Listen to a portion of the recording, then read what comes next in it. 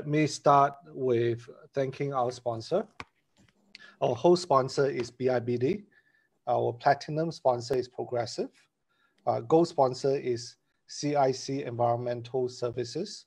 And silver sponsor is BLNG. So a special thanks to the sponsors without whom this evening would not be possible. So now it's time to introduce who the speaker is. Uh, Chef Luke Macann, uh, originally from New Zealand. Uh, he is the head of culinary school from uh, Laksamana College of Business. Uh, chef Luke has been a chef for over 30 years. Uh, he still looks very young, but uh, you know, it, it, you've been around for a while, huh? And um, you know, she, he, he, used to work in private yacht uh, restaurants in Melbourne, in Beijing, Chiang Mai, and San Francisco. So prior to coming to Brunei, um, you know, he, he ran his own restaurant in New Zealand, and um, you know, he was uh, it was an award-winning restaurant, and he was a chef patron there. So um, you know, Chef Macann has appeared on several TV programs. Uh, he has written articles for industry magazines and uh, pu published a cookbook. Uh, and you know, he believed the most important ingredient in the kitchen is knowledge. Not very sexy, but very practical. So with that, uh, Chef Macann. Oh, sexy, come on. welcome to the show. Thank you, Shaun. Thank you. Thank you for your uh, for your introduction. Thank you for inviting me here. Uh, it's uh, yeah, I always like to talk about uh, um, know about. So. This is this is probably the cleanest kitchen that I've ever seen.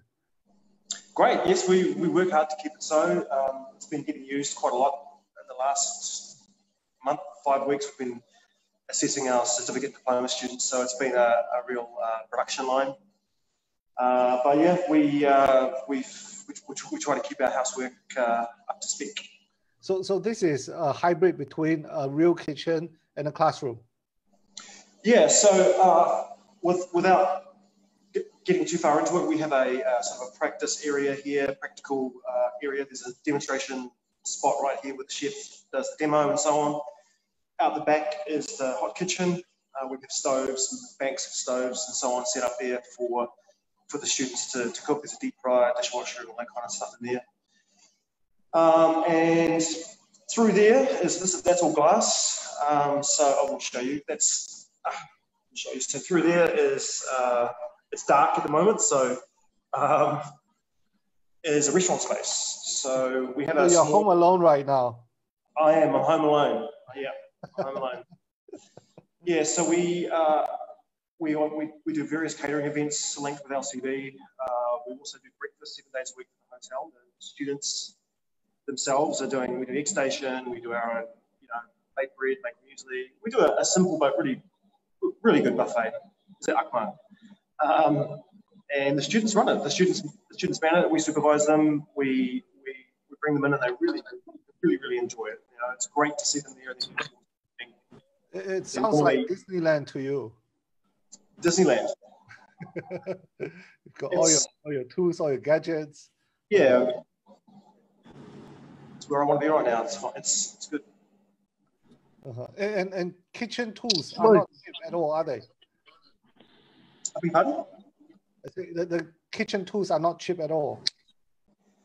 No, industrial kitchen. I mean, good, good equipment's never that never that cheap, but I'm, I would not say you know if you buy right, if you buy a good piece of machinery, you know I've got some knives and some random some random for 25 plus years, you know. So if you do buy if you do buy um, uh, smart and buy uh, a, a, good brand um, and look after it, it can last. So. Wonderful. I'll start by um, asking you to share with our audience, how do you get into the career as a chef? So it started for me uh, in Palmerston North in New Zealand in the late 80s. So I finished, I finished high school and um, I actually started doing a, a, business computing course because I was quite relatively, relatively smart. I did uh, pretty well in you know maths and physics and a few other things, so I could type which was a great skill. Thanks to my uh, fourth form form teacher, Mary Lynch. Thank you for suggesting that. Uh, it was a very, uh, very useful. Anyway, I started doing this course, this Polytech uh, course, business computing course, programming essentially. And it was not for me. It was just, um, uh, you know, I knew straight away within the first week, I was like, mm, cannot, I've made, I've made a mistake. So I went to matron of the school and I said to her, um, Madam, I'm sorry, but I've, um, I've, I've got to go. Um, can you, yeah, you could. Uh, so anyway, she gave me a, she gave me a full refund. I was like, great. And the next door to the house I was living in was a guy that had a plant shop. So I needed a job and I had him up for a job Then I was doing all sorts of random jobs. I was filling up people's trailers with soil and separating seedlings and painting things and delivering stuff in a truck and I really, I really enjoyed it. I was out there working with hands. In the, you know, watching things grow. And one of the women that had been there for some time said to me one day, we are having a break drinking Milo, and uh, she said, "Look, you always pick up the women's magazines, the Women's Weekly, the New Idea. You go straight to the recipes.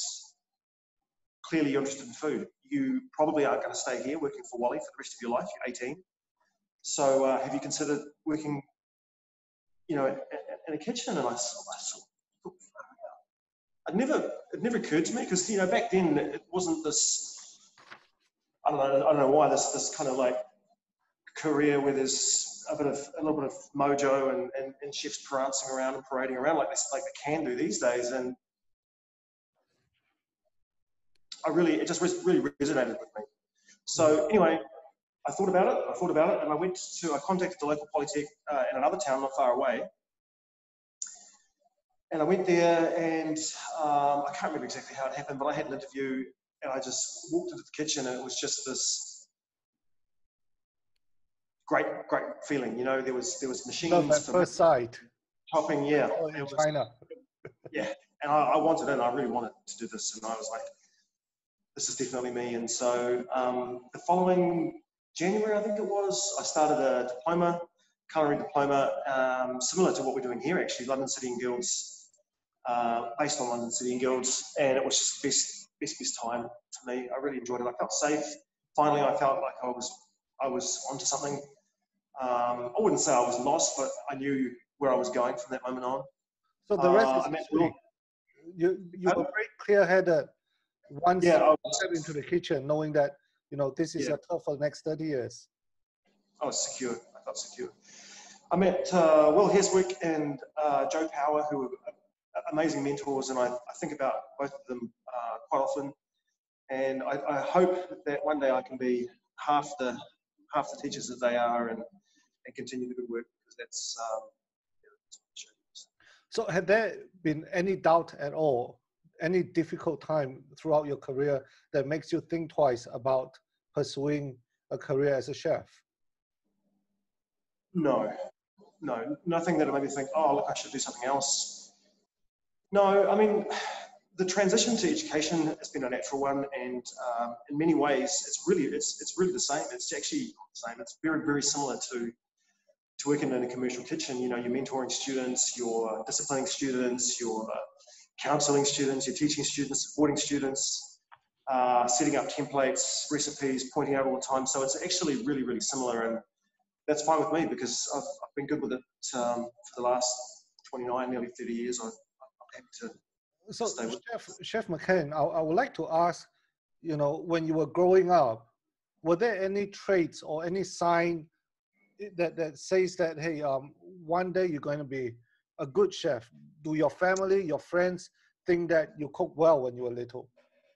Um a couple of things. I wouldn't say it was i wouldn't say it was um you know visible from 100 meters away. I I can remember carving a little car out of luncheon sausage in my school lunch when I was about eight years old. Um, I can remember walking along the farm next to where I lived with my father and getting field mushrooms. He basically threw them in a pot and boiled them with onions and stock cube and then thickened it with a, a flour and water. And I can remember having that on toast and thinking, oh, wow, we just picked these. They were eating them. This is great. This is cool. Um, I can remember stealing strawberries from the farmer's farm next door and um, I've always enjoyed food. I mean, the kitchen is the most secure, most comforting place in, in the home, and um, Yeah, I guess there was indicators, but I wouldn't say it was that clear. I, I do remember seeing Jacques Pépin uh, in the late mid 80s and thinking, wow, this guy's this guy's special. This guy's got some, some talent and some skill, and he's he's um, you know, he's he's learned, things so, so well. They're part of him and, really. So,